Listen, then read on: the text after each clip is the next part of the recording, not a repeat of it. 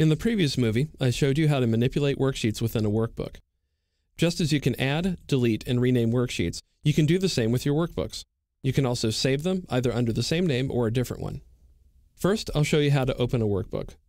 If I go over to Excel VBA and just create a subroutine, I'll call it workbook test.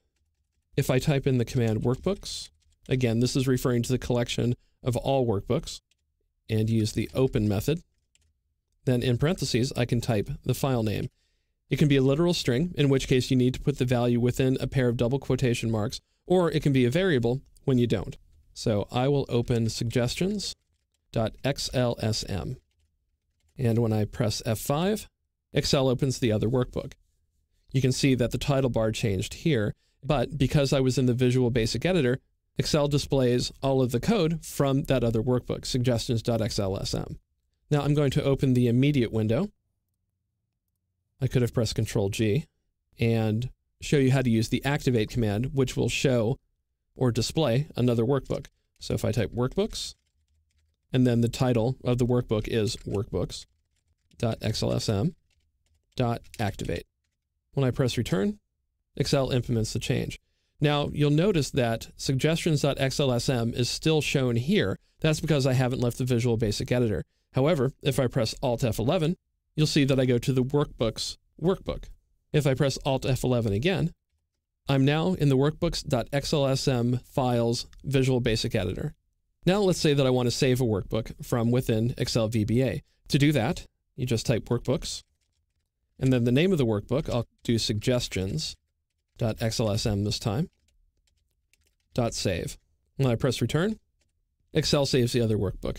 You saw where we had the spinning icon there for a moment indicating the computer was working. There's really no way for me to show you on screen that it saved, but take my word for it, it did. Now let's say that I want to save a workbook under a different name. To do that, I use the save as method. So I just type workbooks, and then the name of the workbook I want to save, I'll do suggestions.xlsm dot save as, and now I can type the file name. File name colon equal sign. This allows me to specify the argument, and I will make it suggestions backup, slightly shortened. And when I press return, Excel saves the file. You'll notice that the name of the file changed here on the title bar. And if I go into the main workbook, pressing Alt F11, I now am in the suggestions backup workbook. Now let's say that I want to rename a workbook. To do that, the workbook has to be closed. So I will close suggestions backup and I'll press Alt F11 to go back into the Visual Basic Editor. If you want to create a new workbook, you can do so again from either in the immediate window or up here. I'll move back to the main code module and inside the workbook test subroutine. If I want to add a workbook, I can type workbooks.add.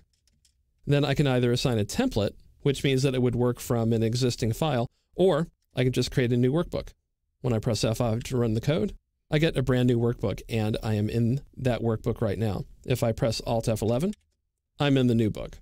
Now the workbook hasn't been saved. That means that I can close it without losing any of my work.